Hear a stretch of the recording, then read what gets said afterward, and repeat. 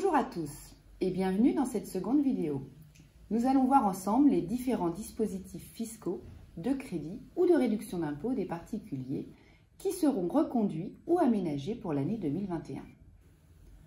On peut citer notamment la réduction d'impôt dite Madelin.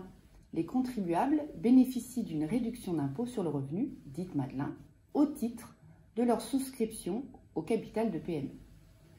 Le taux de la réduction a été porté de 18 à 25% à compter du 10 août 2020 et restera fixé à 25% pour tous les investissements réalisés jusqu'au 31 décembre 2021.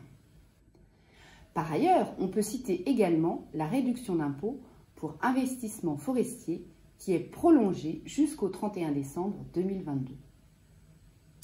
Autre dispositif reconduit, la réduction d'impôt Pinel. Lié aux investissements dans l'immobilier, ce dispositif est prorogé de trois ans.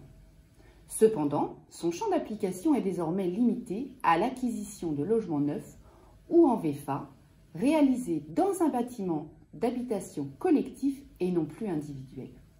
Par ailleurs, le taux de réduction d'impôt va baisser progressivement pour les investissements réalisés à compter de 2023. Nous verrons dans la prochaine vidéo les différents dispositifs de fiscalité verte.